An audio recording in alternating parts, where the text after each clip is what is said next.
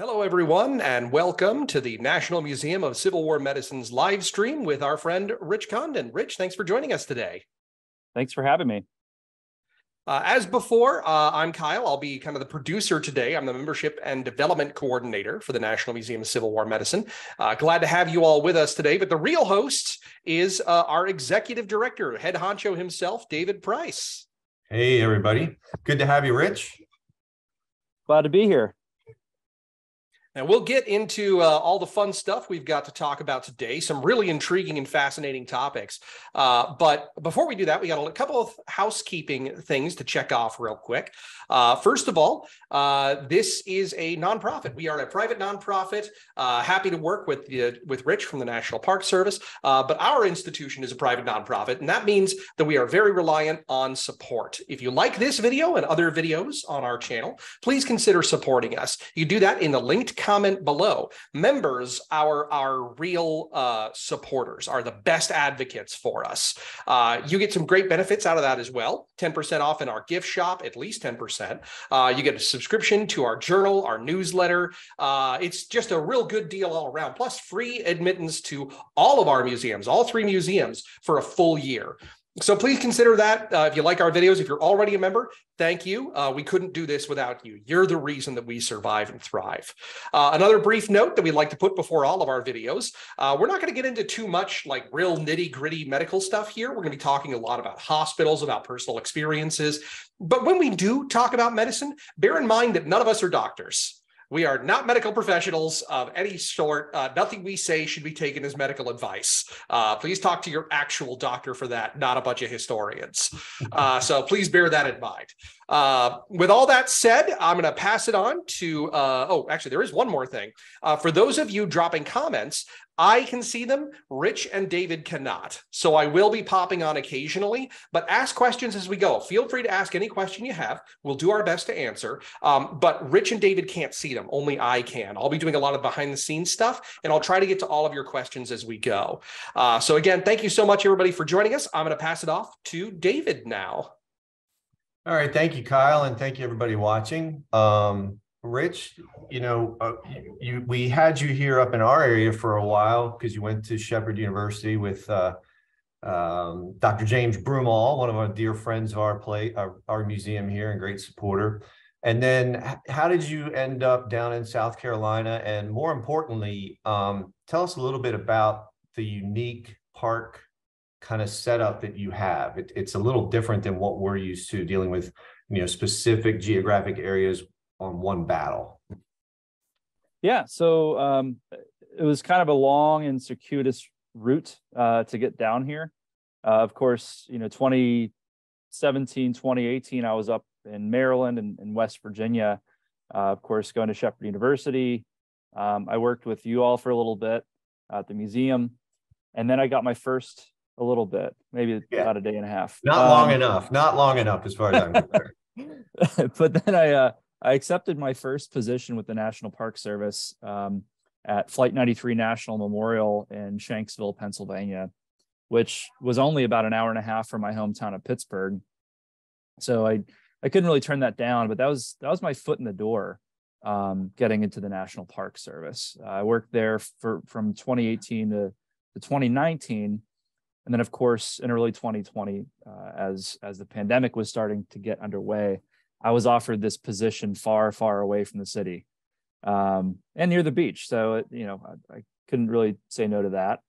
Um, and uh, and of course, what we talk about here at this particular park at Reconstruction Era National Historical Park uh, is is up my alley. I mean, my background is in Civil War and Reconstruction, so this worked out perfectly. Um, you know, the, the story that we talk about here is um, reconstruction across the board, across the United States, but using what happens in this particular area as kind of a jumping off point to discuss that story. Um, reconstruction began here uh, on the South Carolina Sea Islands in 1861 and lasted all the way to about 1900. Um, yeah. So it starts earlier and, and lasts longer than most places across the country. So you're really interpreting, you know, decades, not just the four or five years uh, around the Civil War. And then more importantly, what it looks like to me, and correct me if I'm wrong, you know, we're operating three sites here, which is a challenge enough. The Pry House on Antietam, Clara Barton in downtown DC, uh, and then our main museum in Frederick. And, and we try to combine that whole story. You've got the storyline of Reconstruction and you have sort of a loose, you, how, how many sites or areas are you and your, your team there interpreting? And then you've got a broader network, it looks like, uh, of a Reconstruction story. So the, the the physical resources that we have to work with here are, I mean, of course, we have stuff from the late 19th century, but a lot of what we have, uh, these resources are from the Civil War era, um, because Reconstruction starts during the Civil War. Um, you know, we we discuss that heavily, um, and of course, that's what we're going to talk about today. Some of these these Civil War slash early Reconstruction hospitals that we have around the town of, of Beaufort. Um, within the park itself, we actually have three sites as well. Um, so right now I'm at uh, at our main visitor center downtown Beaufort, right across from the Beaufort Arsenal building. Um, we have a site out on St. Helena Island, which is just a couple of miles away um, at the site of, of uh, Penn Center. Um, our little visitor center out there is called Darrah Hall. Um, but in the larger picture, that is the site of one of the first freedmen schools established here in 1862. Cool. Um, and then the the third site is actually in Port Royal, where I live, just a couple of miles south of Beaufort, same island. Um, the site of Camp Saxton, which was the first training ground and recruiting facility for African American soldiers during the Civil War. Awesome. 1862 as well. Yeah. So we, we kind of approach Reconstruction from a bunch of different angles, whether it be um, this idea of military service leading to citizenship or um, you know, land and, and labor reform, uh, things of that sort. And of course, education's a big one too. So I know, you know, what the, our story is, of course, the medical one, and um, you know, you've got a whole bunch of hospitals down there because because uh, your area was occupied almost from the beginning of the war, correct? So they had time to organize these things. So. Right. You know, show us some of that stuff. Show us about the hospitals and who they were caring for, because they had they, as you're describing it, uh, with colored troops and with contraband and freed slaves and freed populations. It was it was a unique challenge compared to the story we usually tell, which is um, you know emphasized on the battlefield relief of it. But you're you're going to have civilian impact, popul- different population impact. Um, so so what do you got down there? So I like to I often compare what's happening in Beaufort and and the Sea Islands as a whole um, to what's happening in, say, Nashville uh, from 1862 onward or yeah. uh, Washington, D.C., because um, you not only have battlefield casualties, uh, but of course, a lot of the people that are in these hospitals are, are sick. Um, you know, when you have thousands upon thousands of people uh, congregating in this one small area, coming from not only cities from across the north or, or small towns from across the north, but people from the sea islands, you're going to have disease running rampant. Um, you not only have the hospitals um, that are established in buildings, you know, these, these brick and mortar uh, hospitals, but you also have uh, quote unquote contraband camps or refugee camps uh, as well, all over the place. You know, this area, these sea islands, um, you know, you have 85 to 90% of the population that's uh, enslaved African Americans that's about 10,000 people in say 1861. That number grows over time by 1865 to about triple that number. Yeah, that was going to be my uh, kind of my next question is, you know, we, we talk about different towns, particularly Frederick, uh, Franklin, Tennessee, you know, Shepherdstown, um, becoming one vast hospital. So how, how big of an increase in population? I'm assuming once once these hospitals were set up and, and services and things, that there was an influx from other areas. Did was that the case, and and how big was that to where they had to their infrastructure that has existed had to deal with all these incoming immigrations? Right. So, um, kind of backing up a little bit, uh, what where this all spurs from is actually uh, U.S. occupation or, or liberation in November of 1861, just a couple months after the war starts. Uh, and that's why we start Reconstruction in 1861. Um, you know, th- this is military emancipation that results in Reconstruction here. So in November of 61, US troops arrive, almost 13,000 of them on about 77 ships that departed from Hampton Roads, Virginia. And, you know, of course, they drive out all the white plantation owners here um, and, you know, all the Confederate troops that are occupying uh, the area as well, which include two forts that defended Port Royal Harbor. Uh, on November 7th, 1861, in a matter of four hours, uh, that U.S. fleet basically levels the forts, drives all the Confederates out of the area, and by end of day of November 7th, U.S. soldiers are setting foot on the sands of Hilton Head Island. Okay. And so, you know, almost immediately they're being greeted by freed African Americans. Eventually, uh, thousands of them are are coming from all over the islands to see what's going on. Um, it's a day that's forever remembered as the the day the big gun shoot. Huh. Um, and so, uh, you know, of course, the military um, was not necessarily prepped for this situation. This is not something they factored into a military campaign. And so they have to figure out quickly, okay, what do we what do we do now? How how do we how do we establish some kind of infrastructure here? How do we get people things like uh, an education, medical care, things like that? And so quickly they start to pull together resources.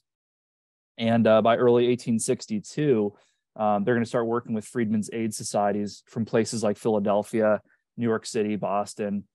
Um, so by the spring of 62, they start to send dozens of uh, missionaries, doctors, nurses, etc., from those cities. And this place starts to transform rapidly. I mean, all, all, the homes in downtown Beaufort are now being repurposed by the, the US military. Um, of course, you need a, a commissary department to keep everyone fed. You need a quartermaster's department to keep everyone supplied. Um, and of course, they're going to uh, eventually have 15 U.S. Army hospitals set up in downtown Beaufort. Um, in addition to, of course, there's an, uh, an officers' hospital and a hospital for refugees. Was there is there an identifiable identifiable guy who was put in charge of that organization, or were they just winging it? So, in the uh, summer of 1862, um, there will be a, a head surgeon. Um, oh, his last name is Crane. Uh, Dr. Crane. Hold on, I have it written down somewhere. Well, um, I was um, just I was asking because you know we talk about Letterman in the context that right order out of chaos, and I just didn't know if there was an equivalent down there. There's there's this Dr. Crane that basically became the uh, lead surgeon for the Department of the South. The military department of the South is established uh, about the same time that these missionaries are starting to come down here. Um, so he's of course kind of heading up the, the, the medical side of things, but you also have somebody in charge of all the nurses here. Um, uh, Jean Davenport Lander. She's actually a former actress um, who really didn't have a whole lot of medical experience uh, prior to coming to the Low Country. Um, but about that same time in the summer of 1862, she's overseeing the nurses' operation and kind of breaking it down from there. Um, regimental surgeons will be taking care of each hospital that's established here. Gotcha. While That's we're cool. on the topic of um, people who are helping, um, oh, we did get a question in the comments from Anna. Anna, thank you for submitting your question. Was there much pushback from the white military doctors about treating newly freed men and women? I I haven't uh, come across any accounts off the top of my head uh, about doctors treating freed people. Um, you know, I actually had this conversation with a, a colleague the other day. Um, this what's going to be referred to as the Port Royal experiment. You know, when you think of an experiment, you think trial and error. Well, that's that's how the government saw everything that was going on here. Um, what's going on could be a complete success or an utter failure in their eyes. Um, part of that is, um, you know, having the right people in place for this to be a success. So, if you were to have, you know, a, a commander of the Department of the South who um, isn't necessarily an abolitionist or doesn't have freed people's best interest in mind, this could have been something totally different. Um, this might not have laid the groundwork for Reconstruction. But because you have someone like, say, David Hunter, an ardent abolitionist from New York in charge, um, as well as other uh, abolish, abolitionists kind of at the head level, they're inviting other abolitionists from the North to come down and actually make this a success. Does that mean everybody that comes down here is an abolitionist? No. Um, but a majority of the people who are kind of uh, pulling the strings are, are do have the the free people's interests in mind. Cool, cool. So I know you've got a, you know, good information on these actual hospital sites and the, and the treasure that you uh, are able to be around is the fact that a lot of them still stand, which is super cool. So tell us, tell us a little bit about the organization of how many hospitals there were and I'm assuming they're, the majority are all downtown in a condensed area or were they spread out a little bit? They're they're spread out throughout the downtown area, but you know, downtown Beaufort in in 1861, 62 is not a a huge area like like it is today. Um, so you know, you could realistically today walk a few blocks and see all the hospitals. Well, that's cool. I think I think out of the 15 U.S. Army hospitals, 14 are still standing. You still have the refugee or quote unquote contraband hospital uh, and the officers' hospital as well. Um, so I actually I have some slides I can share with you. Yeah. Um, do you- Hey, do you guys have, as you're doing that, go ahead. Sure. Do you guys have a, a walking tour booklet or a walking tour around these things or? so we do uh, we do provide uh, ranger guided programs. Um, you know, we don't necessarily uh, base them around just the hospitals normally. Um, Boo. I know. uh, but but I do like to include them as I'm going along. Uh, one of them, actually, I'm going to show you here in a little bit, uh, is is perhaps one of my favorite hospitals to talk about uh, in the downtown area, and you'll see why here shortly. Um, let me. And while you're bringing that up, we also have another question from the comments from Mike. Uh, he wants to know um, where Confederate POWs were treated on Hilton Head. Were they treated at the same hospital as Fort Wells? I will admit that I'm unsure of. I apologize. I'm not sure Confederate POWs were treated. Can you? Yeah, uh, they, I, I would imagine if, if they were, they, they might have been treated and then sent away, you know, either in the beginning paroled. I don't, you know, most, most of the time, I got to imagine they didn't want to be stuck with them, you know, either side in the beginning. Let's see here. Okay, so first off, I want to give a shout out to Sam Cooley. Uh, without him and his photographers, we would not have contemporary photos of the hospitals that were established in Beaufort. Um, you know, this is the photographer for the United States Department of the South. Um, he actually was from Connecticut, and he had come here toward the start of the war uh, and established a photography, excuse me, photography studio um, across the street from where I'm sitting right now. Um, you know, he initially went to different camps in the area and he would basically offer his services for sum of money, but eventually was asked to travel with the army uh, basically between Charleston and Jacksonville and photograph as much as possible. And of course, among those photographs uh, exist uh, these depictions of the hospitals as they appeared as they were occupied during the Civil War. Is there a centralized place online where you can, you know, rifle through his collection? Library of Congress. Awesome. That's, you, you talk Um, about wasting days, a wonderful waste of days is the library. I do that a lot. You have to keep in mind sometimes they are mislabeled. So I, I had to do a little bit of homework on a few of these. Okay, Um, and, and I only know just because I, I walk these streets all the time, so you can see what what is and what isn't. Um, and one of the the best resources that we have is this map. So this is actually a wartime map of of downtown Beaufort. So you kind of get a sense of, you know, when I said it's not a huge town, a, a huge amount of space, this this is what we're looking at. Um, the streets you can see are labeled differently than they are today.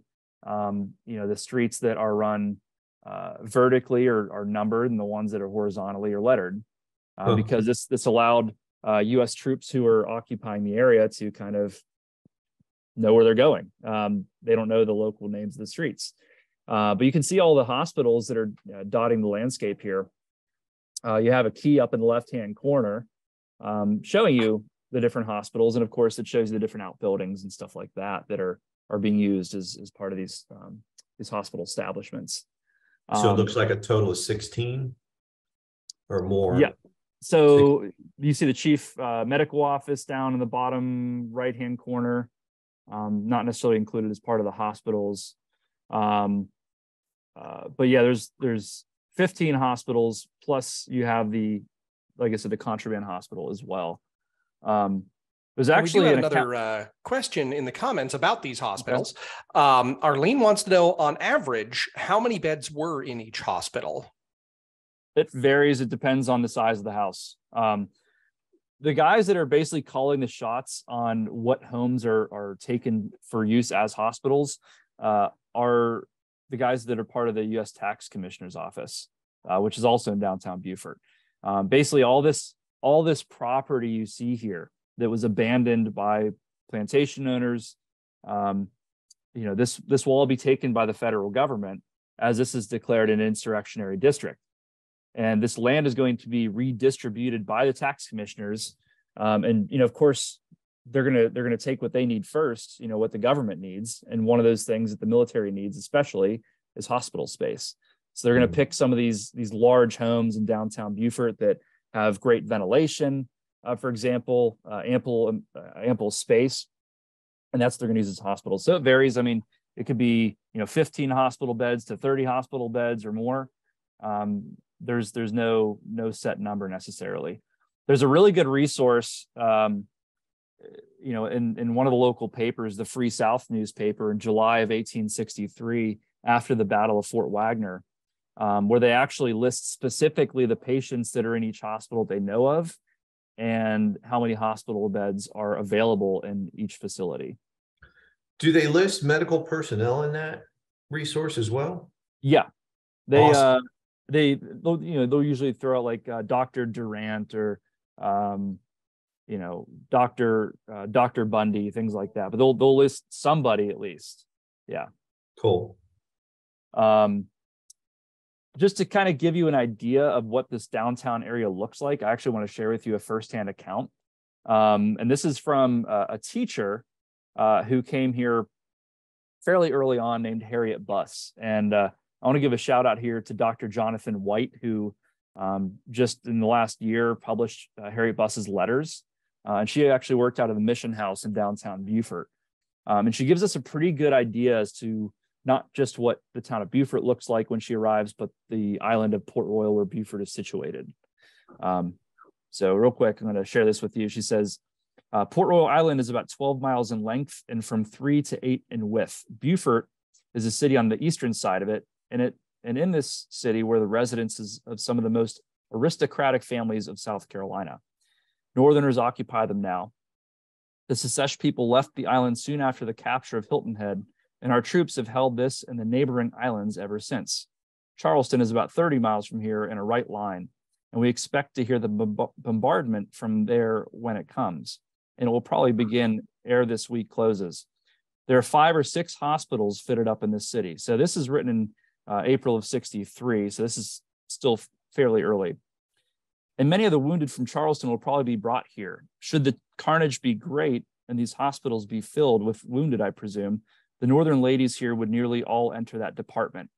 We teachers hold ourselves in readiness for this work, and I should think there might be 50 ladies right at hand for the duties, beside the regular nurses. The hospitals in this department are under the superintendence of Mrs. Jean Davenport Lander. So she, oh. At that point in time in 60, early 63, you have yeah, five, six hospitals established. And of course, um, as necessity dictates, you know, as, as you have engagements like Fort Fort Wagner, of course, you're going to need some more hospital space after that. Right. And we have another uh, question in the comments, excuse me, from Lynn Bristol, a longtime supporter of our museum. Uh, she says that Major General Ormsby Mitchel was an architect of the Port Royal experiment. Did he orchestrate caregivers from Pennsylvania to deliver some medical assistance? You mentioned all these people coming south uh, to help out. Uh, do you know anything about that? As a Pennsylvanian, I should know that.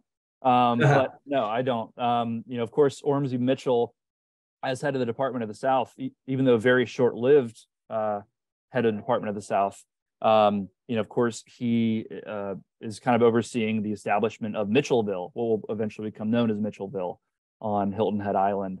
Um, and of course, I, I imagine there's some medical facilities established there. But as far as bringing Pennsylvanians down for that specific purpose uh, under Ormsby Mitchel, I'm I'm unsure about that. Just an observation. I think, you know, describing how people responded to come and help is definitely a lesson for today. you know, um, to to become involved and to go out and to to meet the crisis is just always impresses me uh, in these medical stories. Yeah, absolutely. And of course, you had, uh, like I said earlier, um, a lot of abolitionists in these northern cities saw this as, you know, event an event to rise to the occasion. You know, kind of put their money where their mouth is. Yeah. Uh, you know, talking about helping uh, enslaved people or formerly enslaved people, a lot of them kind of jump at the idea to come here um, to to establish these schools, to um, you know work with these freedmen's communities and churches um, so yeah that's that's a big part of the port royal experiment as a whole cool. we talked uh, a lot about the people coming south we do have a question also about some of the locals here uh, also from anna uh, were the hospitals returned to their original owners after use as a hospital sometimes uh, so as I mentioned before, um, the tax commissioner's office, the U.S. Treasury Department is overseeing this whole operation. Um, they're the ones that dictate, you know, who who's going to be in charge of this property. Of course, um, you have uh, one of the reasons this park exists here that we say reconstruction begins here is because for the first time in their lives, a lot of African Americans have the opportunity to to purchase and own property. Um, in, in a lot of cases, property that was owned by their former enslavers. Um, you know, they're they're working for wages here of course, um, property that was confiscated by the federal government from people who abandoned that property is going to be auctioned off. And of course, they're going to jump at the idea to buy that property. Um, you know, the the former landowners were given a chance to come back and and uh, and pay delinquent taxes in their property to retain ownership. Um, but I think only out of 200 plus plantation owners on these sea islands, maybe 12 come back during the war to, to pay taxes. Um, and after the war is over, you know, of course, um, some of this property now belongs to uh, the African American community that were once enslaved here. Um, and if, and some people just moved on. A lot of people left the area and moved to other places. Some do come back. Um, some people do eventually uh, move into the homes they abandoned uh, when they're able to to uh, pay the taxes, delinquent taxes in that property. So the stories vary. Um, not everyone comes back and lives happily ever after in the, the homes they left. In some cases, they do. I believe uh, one of the one of those cases is actually uh, Dr. Joseph Johnson, who um, had had his house built in circa 1860. So maybe maybe the last mansion built before the U.S. occupation of Beaufort, uh, and it's going to be used as hospital number six for the 54th Massachusetts in July of 1863. Hmm. Cool.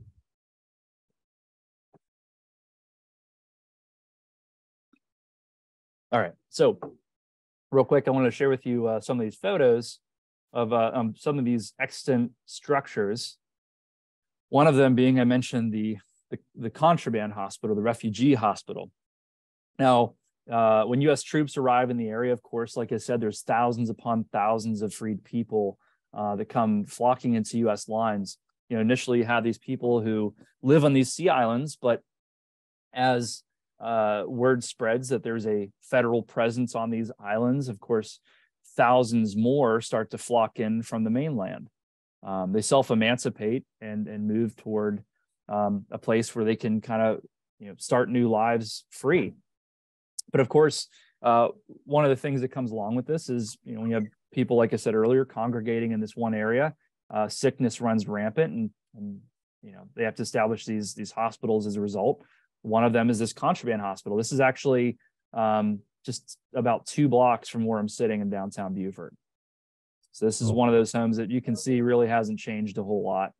Um, and among the people that work here uh, during the war are, are, is Harriet Tubman. Um, of course, she comes here fairly early on as well. Um, you know, some of the people that might have been treated there are people from the John Joyner Smith plantation in Port Royal, where Camp Saxton eventually will be established. Um, this was a 700 acre plantation on the, the southern tip of Port Royal Island. There's at least 80 people enslaved there. Um, and this is actually a, a wartime photo. I, I, believe it might have been taken by Sam Cooley um, of, of some of the people from the Smith plantation. Uh, and, and, of course, these are some of those people that U.S. troops would be referring to as "quote unquote" contraband uh, upon their arrival here. Um, and of course, you know, as I mentioned, Harriet Tubman's work uh, here in the Low Country is uh, one of the things that launches her to uh, to a point where we all know her name. Um, she, you know, of course, worked on the Underground Railroad in the pre-war period, um, but uh, in early 1862, she's actually given a written pass from Governor Andrew of Massachusetts to uh, come here to South Carolina as part of this Port Royal experiment. Um, so she brings her skills with her, whether that be uh, serving as a scout and a spy or um, or as a nurse. And and often a lot of people remember her for um, for what she did for not just soldiers but for for freed people, um, including uh, Dr. Henry Durant, who's acting assistant surgeon of the the contraband hospital in Beaufort. Uh, in fact, a couple years after the Civil War is over, in 1868, they're trying to secure a military pension for Tubman. Uh, and he actually lends his testimony to her work in Beaufort. And so that's what I have uh, shared here. Awesome. Uh, one of the other hospitals, uh, hospital number 10, is, is argued to be the first uh, hospital established for African American soldiers in April of 1863. Um, and so this it actually consists of two, I believe, two facilities. Um, this one that I'm showing you now, this is actually part of the University of South Carolina Beaufort campus today. Um, this was part of Beaufort College in the pre-war period. Um, so this was a library building, uh, and it actually served as a, a freedmen's school during the war. But later on, uh, this will actually be taken uh, for use as part of hospital number 10. Um, here in the picture on the right-hand side, this is one of those Cooley photos, and you can see uh, the African-American students of, of this freedmen's school. So this would have been taken likely uh, before uh, before it was actually taken as a U.S. Army hospital. Um, and then, of course, the kind of the main uh, hospital building was the Elizabeth Barnwell Gough House, which is just uh, about two blocks away from uh, from the library. And uh, and head of this hospital, and, and you all might be familiar with with her work as well as Dos, Dr. Esther Hill Hawks and her husband. Um, and she actually she wrote a great account uh, of her time here in Beaufort, where she talks about the establishment of um, USCT hospitals. You know, of course, she's one of these abolitionists that comes here uh, fairly early on. Uh, and she talks about the establishment of this hospital in April of 63 under the charge of her husband um, in one of the Barnwell mansions, which, if you ever visit the area, they are a, a plenty. Um, but she talks about, you know, how these homes have been kind of left destitute. Um, basically, they have to uh, uh, kind of get down scrubbing on their hands and knees to get this place ready for patients to actually start arriving. Um, so uh, let's see here. Speaking of uh, all those hands needed for help, we have another question in the comments yeah. from Arlene. Uh, did newspapers publish reports of these hospitals far and wide for people to know that they could come and help out? Uh, that's a good question. Um, I know that you know locally, the in the Department of the South, of course, uh, Rufus Saxton, who's military governor, uh, basically says that people who are living in this area, if you're going to live in this area, uh, you have to dedicate uh, three days of your week to helping out in the hospitals. Of course, many other people um, outside of those three days decide to dedicate their time. But as far as uh, enlisting help from outside sources, uh, having these accounts published nationally, I'm unsure of that. Um, you know, of course, a lot of people knew in Boston and New York City uh, and in Philadelphia that they could come down here as part of this Port Royal experiment, uh, whether as teachers, doctors, nurses, etc. Um, outside of those major cities, I'm not sure about that. Yeah, it's interesting to think, you know, texting of the day was really the old fashioned handwritten letter, you know. Right. Um, and then you know, these folks are communicating with people back home. They're putting, you know, placards up and and you know small little posters of of you know that three day requirement maybe posting it in local newspaper. So while while news traveled it definitely i mean it definitely traveled. It just the the pace was uh, of the 1860s rather than today. And a lot of it's by you know by word of mouth. You know this i always kind of liken this area to to this national stage where you have all these really significant figures coming through um, people like Harriet Tubman, people like Clara Barton or uh, Susie King Taylor. Um, and of course, a lot of these folks are well connected and they pull those connections in when they see this worthy cause.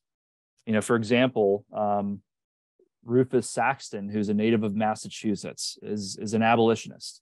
Um, when he sees that there's a need for a commander for the 1st South Carolina Volunteer Infantry, someone who has the best interest of formerly enslaved men in mind, he reaches out to Thomas Wentworth Higginson, who is a staunch abolitionist from Massachusetts as well, who had been uh, part of what uh, the press dubbed John Brown's Secret Six.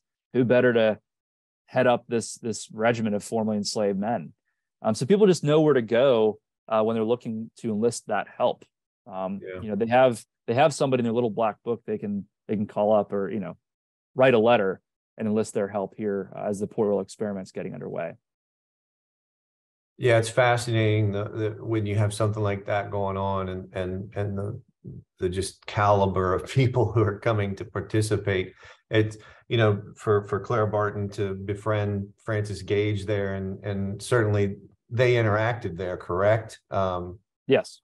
Yeah, because I would I would I would love to have been you know at a dinner party with with those two and Harriet Tubman. I mean, can you imagine? Right. And and you know Clara Barton is a, an understudy of of Gage here. Uh, she looks up to her. Yeah. Um, you know they'd worked together on uh, on Parris Island, of course, and and in Beaufort. Um, I believe they they likely encountered each other actually at this home. I mentioned before the Joseph Johnson house. You know, he's one of these people that that comes back after the war's over. Um, this home is is in basically the same condition it was in say 1863, uh, and this is actually the hospital I mentioned earlier, where the the wounded of the 54th Massachusetts are taken after the fight at Battery Wagner. Um, this is actually just down the street from our, our visitor center in Beaufort. Um, uh, and of course, you know, if if I'm sure a lot of people who are watching, I'm sure I'm sure you guys have seen the movie Glory, right? Um, you know, one thing that they don't depict on screen in the in the motion picture is what happens after the fight at Battery Wagner. Um, but the story that happens after the attack, after Robert Gould Shaw is killed in battle, um, is just as fascinating. Um, you know, these guys are all all the wounded that are able to make it back to federal lines are actually brought here to Beaufort to recover. Um, you know, this uh, this excerpt actually was written by uh, Lewis Douglass, the son of Frederick Douglass, uh, on July 20th, the day that guys are actually starting to arrive after the battle. Of course, the battle took place on July 18th. Uh, and he's writing to his wife, and he talks about some of the men um, that are coming uh, that, that, likely are coming to Beaufort as uh, some of the, the wounded. Um, I can, I know that two of these guys are actually going to to die. Actually, they after they arrive in Beaufort. Um, I know they're both, I believe, buried in Beaufort National Cemetery, and one of them in particular, Charles Reason. I think I've seen you guys share his story before uh, on your your social media platforms. Um, I have a great account that I'd like to share with you here in a little bit. Uh, he's not taken to hospital number six. He's actually taken to uh, to hospital number ten and treated by Esther Hill Hawks. Um, and so, uh, real quick, I'm going to pull out a count here. You know, this, like I said before, um, a lot of the guys that are treated in these hospitals in downtown Beaufort are are, are sick. Uh, you know, as this place is run rampant with disease. Um, you know, you of course have some battles here in the Department of the South. Nothing on the scale of say Antietam or or Gettysburg or Manassas, something like that. They're usually smaller scale battles. Um, but one of these first battles that really sticks out in the minds of people that are in this area uh, is the Battle of Fort Wagner, as not only the men of the 54th are brought down here, but um, soldiers from nine other regiments that attacked the fort on July 18th, 1863. Hey, so, what's the distance? What's the distance from Fort Wagner to where you're at? As the crow flies, about uh, 60 miles or so. Wow. So they to get the wounded there had to be a couple day trip even by wagon. So so the fight is is the evening of July 18th, and the guys start to arrive here on July 20th. Okay.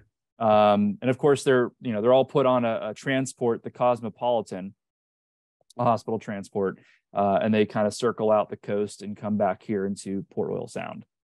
Yeah, because um, they, they they weren't they weren't being transported by crows. Right. Yeah. no, that we we haven't uh, developed that technology quite yet. Yeah. We got a uh, another interesting question here. Since we mentioned uh, the 54th Massachusetts, made famous by the movie Glory, has the Right. popularity of Glory helped or hindered your interpretation of Sea Island medicine? Honestly it doesn't it helps get people interested. Um as far as medicine goes uh it- honestly we don't get a whole lot of questions about medicine. I'm sorry david. Boo! uh, um but like i said it's it's one of those things that it it draws attention to the story. And of course that can be said for a lot of movies and books. Uh and then as historians we can kind of take it from there so Yeah.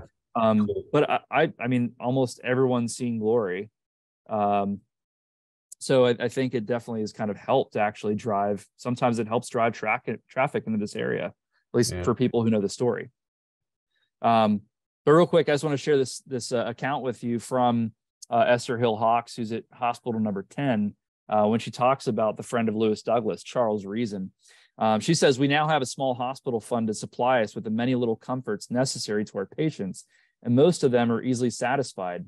Many have died. Several cases of gangrene have been provided for in tents. Two severe amputations today, neither surviving but a few hours. One of these, a boy hardly 20 years old, Charlie Reason, formerly a slave, but of late years resident in Syracuse, New York. I have taken a great interest in he is such a noble looking fellow and so uncomplaining. So grateful when I bathe his head and face as I sat by him holding his one poor hand. He said in reply to my question of why he came to the war, I know what I'm fighting for. Only a few days, few years ago, I ran away from a man in Maryland who said he owned me. And since then, I've worked on a farm in Syracuse. But as soon as the government would take me, I came to fight, not for my country. I never had any, but to gain one. My mother died years ago. And father, I thoughtless, your father, I thoughtlessly asked, forgetting the peculiar relations between father and child in this part of the country. The hot blood throbbed up into his face, but he only said, My mother was all I had to love me, and she has gone home, sweet home. I shall see her soon. I'm glad to go home. And of course, we know that uh, unfortunately, Charles Reason does not make it out of hospital number 10. Uh, Wow. Today he's buried in Beaufort National Cemetery. Yeah. Uh, but he's The- one of these guys that that that Douglass lost touch with after the engagement, not knowing that he was sent to Beaufort. Yeah, those uh the letters, man. Golly. You know, it's just it takes you right there.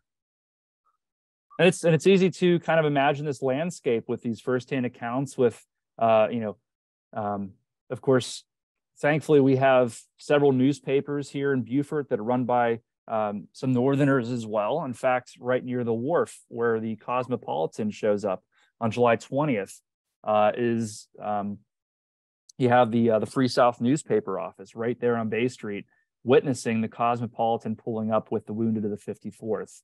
Um, and so they give a really good account as to uh, you know people uh, both black and white rising to the occasion upon the arrival of the Cosmopolitan that had come here from Charleston Harbor, which you can see depicted on the right hand side. Um, people aligning along New Street, this picture on the left here, um, you know, waiting to help carry these men up to the hospitals. You know, on July 20th, these guys are are hobbling up New Street if they can, uh, being carried. Of course, there's ambulances that are crowding the street.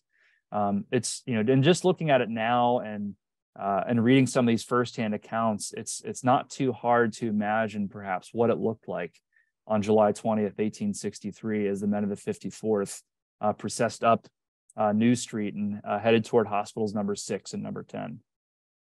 Um, And and I'm assuming, you know, today it's modern pavement. Were th- were the streets uh paved back then for the day or were were they dirt? Uh, from a lot of the photos, photos, dirt roads or sand, of course, uh, since since Right. know, we're right here in the islands. Um, you had a there was one main highway that ran between Beaufort and Charleston. It was called Shell Road, or now known as Old Shell Road. Uh, it was basically that. It was crushed shells lining the road from Beaufort to Charleston, Cool. and that that route still uh, exists today. I think it's it's Highway 21 now, or 17. Sorry.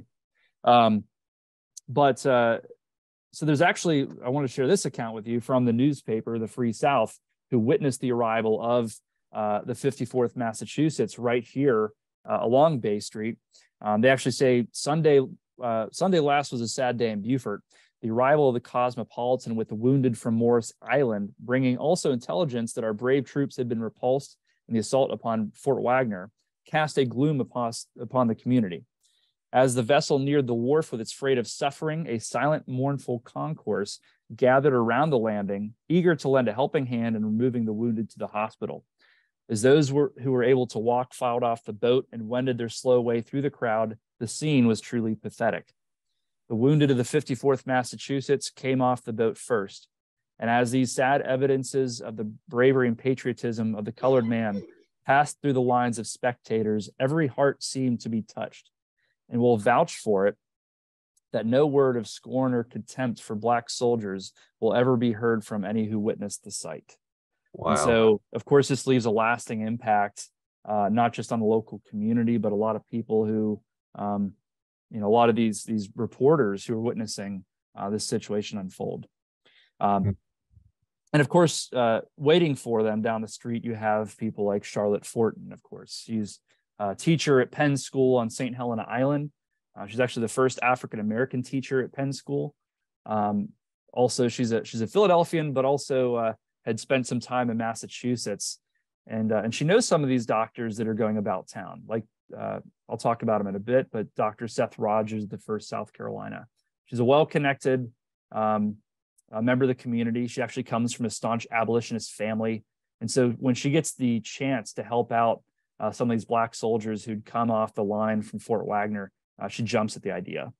Um, and among the soldiers she's treating is actually Sergeant William Carney, pictured here on the right, He's wounded three times in action, um, but also uh, ended up saving the colors of the 54th Massachusetts. And uh, uh, he's actually taken to hospital number six as well. Well, that uh, ties in with a question we have in the comments, uh, sure. again from Arlene. Um, were surgeries done in specific hospitals or in all hospitals as needed? From the accounts that I've read, all hospitals as needed. Um, you know that, like I said, that newspaper account that I I'd mentioned before that shows all the uh, the the number of beds, the the names of the wounded. They also describe in several uh, on several occasions the amputations that are being performed in in some of some of these hospitals too, uh, and almost all of them that I've I've researched uh, had uh, surgeries being performed. That'd be interesting for us to to um, dive down that rabbit hole to figure out, you know, in in Nashville in particular, you know, different hospitals had different specialties. You know, we talk about that system developing and be interesting to to dive into that rabbit hole about about Beaufort, Beaufort to um, find out, you know, how come they were kind of all sort of operating independently in that in that way. Right. Um, but it to me it what jumps out is it might be because it was so far from these battles and so hard to get to because if you were going to amputate you wanted to do it you know within 24 hours best case scenario so it might be that they were performing them you know right then and there knowing you know if, if you're going to get shipped we got to get you going right. take two days to get there well and you know in this particular case with uh, uh, the fighter battery wagner of course the fight takes place on morris island U.S. troops have established hospital tents on on Folly Island. Um, so I'm sure there's some some amputations and procedures taking place on Folly, um, but a lot of you know this is think of these islands here as a bubble. Once you go on the mainland, uh, it's a different story. There there are still uh, Confederates, you know, in the countryside. Um, you know, they have this little pocket of islands that they're hanging on to uh, with about 13,000 people spread between, you know, around Edisto Island all the way down to, to Jacksonville. Um, you know, so all of the guys who are going to be wounded in action uh, in the, the general vicinity on the surrounding islands are going to be directly sent to to Beaufort, and usually they can probably get here uh, within a day or less. Yeah. Yeah. So I mean, uh, it, it seems. I'm sorry. Uh, we had, do have another question in the comments. They've been uh, patient for a while now, Mark and Sue. Uh, and you did kind of answer this earlier in the video, um, but I wanted to revisit it. Um, they have a great grand, great great grandfather who served in the Civil War. Uh, he went to the hospital, and they're wondering if there are hospital records uh, that are in existence today and how to find them.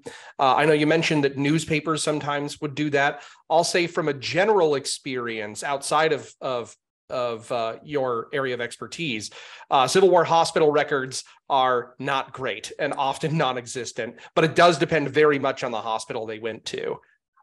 Yeah. Um, so, yeah, like I said, um, newspapers are a great resource, but also if you were to go through their uh, compiled military service report, um, sometimes in there, if, if they're wounded in action, it'll say, you know, what what hospital, what general hospital they were uh, staying in. Aside from that, uh, you know, uh, maybe if you look through uh, pension records, for example, uh, those are the, the three best records I can think of off the top of my head uh, if you're looking for specific hospital records. Yeah, and I, I encourage Mark and Sue to um, reach out to our researcher here, Terry, um, through our website uh, and, and send as much information as you can. And she will certainly direct you to the best resources based on the information you give her. And that's that's why we exist. So please um, go to our website, civilwarmed.org, um, and um, and and hit that research button, that that question button. So we got about 10 minutes left. We might run over a little bit because I'm loving this, but um, have at it through your slides there. Uh, okay. So of course we can't we can't move any further without talking about Clara Barton and, and Frances Gage. Of course, um, you know Clara Barton uh, and Frances Gage both uh, oversee operation. Well, Frances Gage oversees operations on Parris Island.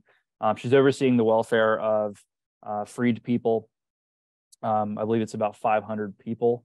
Uh, so Claire Barton is actually going to to meet her down here um, when she arrives in 1863 as well. Uh, and both of these these ladies are also going to be um, servicing some of the soldiers of the 54th Massachusetts, I believe, in hospital number six. Um, and it's it's it's interesting, you know, because I think we were discussing before we got started. You know, Clara Barton, uh, when she comes here to the Department of the South, um, I don't know if if if we you know necessarily consider her a staunch abolitionist, but what she sees here in the Department of the South kind of opens her eyes to that world, especially through uh, Frances Gage as they're discussing these ideas of of emancipation um, and kind of um, the bigger uh, idea of um, you know, equality uh, as well, whether it be uh, racial equality or gender equality um, that she's discussing with Frances Gage. Um, so I won't go into to a whole lot about Clara Barton and Frances Gage here, but I just wanted to make a quick mention that they are, um, you know, in July of 1863, they are present at, at hospital number six as well, um, taking care of some of these um, these African American soldiers of the 54th. Yeah, that's another that's another topic, just real quick, that I think is worth exploring on our end because of the Clara Barton Missing Soldiers office. Um, you know, where she's that's her home base when she comes down here, and you can visit that space, um, which is just incredible. But you know, we get a lot of questions about her views, Clara's views on uh, slavery and abolitionism, and and you know, my comment is usually you know, she came from the area where they're abolitionists. Um, she was kind of a, she was a believer, but she wasn't just totally, you know, an uh, an evangelist about it. She until that experience down there um, in in your neck of the woods, where she actually sees um, the conditions and and how they're treated, and that truly was a, a pivotal point, I think, for her. So cool. Um, Another one, right, uh, actually not too far away from hospital number six, is number seven, also known as Tidalholm, is the Edgar uh, Fripp House. This is actually the home that will serve as a hospital for officers. Um, actually, quite a few of the guys from the the 54th are brought here, uh, including uh, Edward Hallowell, who takes command of the 54th when Robert Gould Shaw is killed in action. Um, the modern photo I chose to use here was actually from the Big Chill. Uh, and I had no idea. And they don't. Do they even reference it in the movie? Uh, I don't house? think so. Yeah, that's cool. Um, but uh, you know, when a lot of visitors come to town, they're always looking for the the big chill house. um, like, oh, hospital number seven. So anyway, Nice. um, Jeff Goldblum, Pittsburgh royalty was here. Uh, and of course, uh, this is Ed Hallowell that I just mentioned. Um, he's actually written about in in Charlotte Forten's journal, which, if you ever get a chance to read, is a great resource. Um, not just for the content that discusses her hospital work, but also as a teacher on St. Helena Island. Um, you know, she she arrives here in the Department of the South in October of '62 and is here till about May of '64. Um, but there's a lot of great material in there. And of course, uh, she she was acquainted with Ed Hallowell before the war even started, um, both being Philadelphians. Um, and of course, she visited him in uh, at Tidalholm in Hospital Number Seven, and and this is kind of her reaction uh, to seeing him prostrate. Hmm. Uh, let's see. And of course, like I said, I'm going to flip through the rest of these just so you can see that I'm not lying. There, there are still quite a few of uh, of these hospitals still standing today. I will mention that um, pretty much all of them are private residences today as well.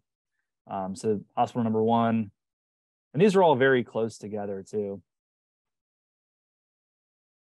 While you're flipping through, we have uh, another question in the comments. I'm not going to be able to get to all the questions, I think, uh, but I am going to do my best. Uh, so please uh, be uh, uh, patient with me, everyone. But Christina asks um, about the New South that you quoted from and where there are any issues that are available for viewing. Are they digitized online? Are they in archives?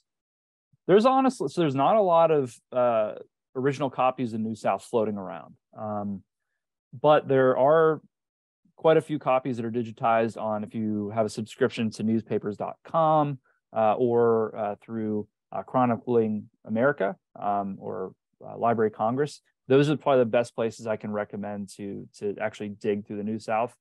And if you're really into learning about the Department of the South and early Reconstruction here, um, you will spend hours upon hours upon hours digging through them. I know from experience. Um, so that's those are the sources I could recommend to you there. Um, this one I, I want to mention real quick, just because this this guy is pretty fascinating. Um, this is hospital number three, um, through which Dr. Ferdinand Hayden operated. Um, and, and this guy has a pretty interesting story. You know, he's uh, outside of being a, a surgeon, doctor, he uh, he's an explorer. So in the pre-war period, you know, he's uh, exploring out uh, out west, out toward the Rockies. In fact, he I believe he travels with uh, with Gouverneur K. Warren for a period uh, just before the Civil War. Um, but as the war ramps up, uh, he joins joins the army, and here at at Hospital Number Three, he's going to be serving as a surgeon. This is actually one of those newspaper excerpts I was talking about that mentions the number of of hospital beds. They had 47 beds in that house, um, and this is one of those cases too um, where they actually discuss, um, uh, you know, amputations. Um, but you know, after the war is over, uh, for anybody who uh, who travels about to some of these Western national parks, you might have heard his name before. Um, as uh, you know, as as the war ends, um, Hayden eventually goes out west and he's exploring the Yellowstone territory. Uh, and actually, it's a federally fund, funded project. Eventually, uh, the one of the areas that he explores will take his name, Hayden Valley. Hmm. So uh, he's he's probably one of the more well-known surgeons that passes through Beaufort, even for a little bit of time. A couple more for you here. Like I said, these are all just blocks apart. This one actually, uh, hospital number nine on Bay Street will also be used as um, uh, headquarters for Isaac Stevens um, as he's in the area in, uh, in late 1861, early 1862. There's actually a really famous photo of him uh, and his staff. He's seated on the front porch of uh, the John Joyner Smith House. This is uh, Hospital 11. This is also used for for officers today. This is actually this isn't necessarily privately owned. It's a uh, it's a bed and breakfast slash restaurant.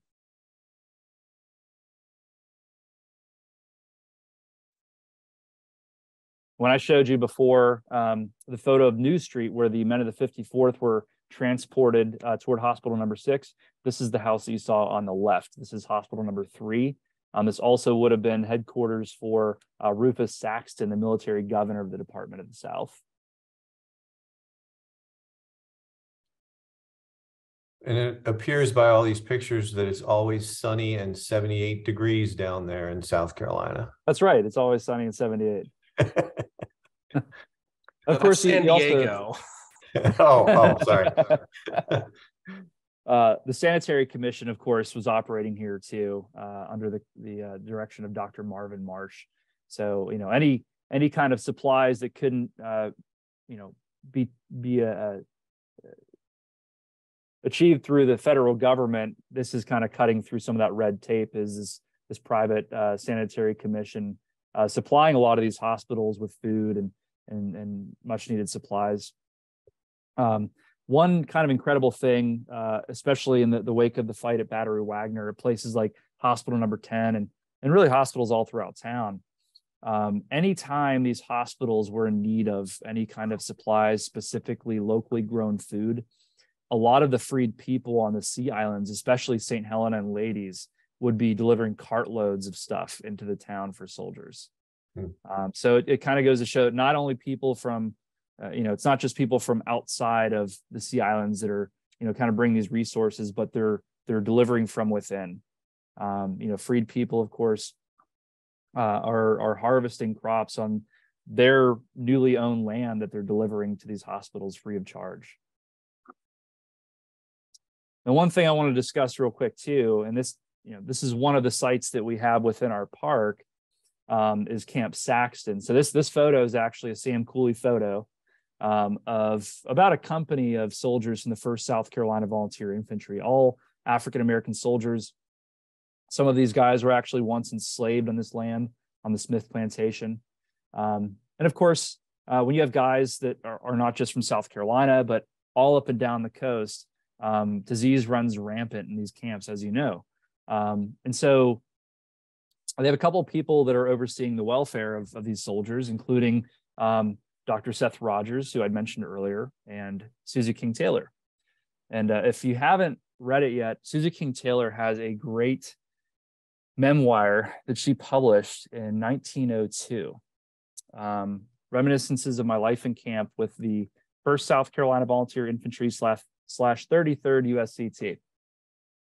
And uh, she's fairly young when she goes in camp with the 1st South Carolina. She's uh, about 14, 15 years old and um, you know she is uh, you know serving as a nurse as a teacher of course she's literate um, and she writes about all this later on um, in the early 20th century um, dr seth rogers of course he um, you know he has these letters published by university of north florida um, that are an excellent resource as well he actually talks about establishing a hospital and a cotton gin um, close to the Beaufort River in Camp Saxton.